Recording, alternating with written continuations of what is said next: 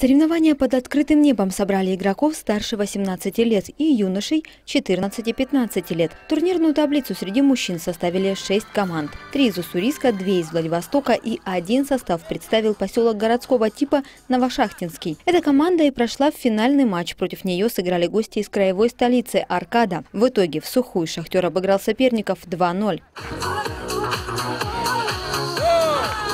Среди юношей соперничали только три состава, и все были из Уссурийска. Команды сыграли по круговой системе. Без поражений турнир прошли игроки перспективы и стали победителями. «Локомотив» оказался на втором месте после поражения лидером. И не повезло второму составу перспективы, который не одержал ни одной победы.